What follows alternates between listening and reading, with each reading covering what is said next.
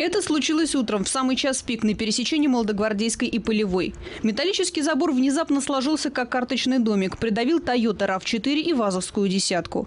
Их водители везли детей в школу. До места назначения так и не добрались. Мы выехали на перекресток, поворачивать налево. Какие-то машины уже проехали налево. А нам проехать налево не удалось.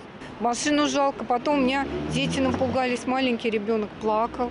Благо передо мной была RAV4, которая приняла на себя как бы вот весь этот, э, всю эту махину. Потому что если бы он лег на меня, он бы просто меня сплющил. Нам даже некуда было метнуться, тут была встречка, тут ехали машины. Естественно, крики, охи, вот у меня дочь сейчас дома сидит, вот такая вся тоже. Это ограждение поставили вечером в понедельник. Здесь запланирован ремонт теплосетей. Между собой металлические листы скреплены только проволокой. По словам представителей коммунальной компании ПТС, причиной стал шквалистый ветер. Форс-мажорные обстоятельства. Где-то крышу срывает в Иваново, шквалистый ветер у нас в ограждении. Были закреплены, ночью выставлены. Знаки стоят, движения здесь не должно быть вообще. Но водители до сих пор едут.